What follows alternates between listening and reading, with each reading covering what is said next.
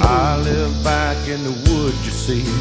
My woman and the kids and the dogs and me.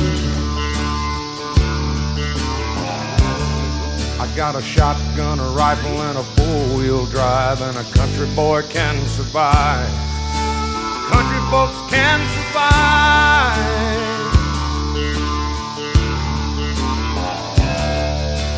I can plow a field all day long. I can catch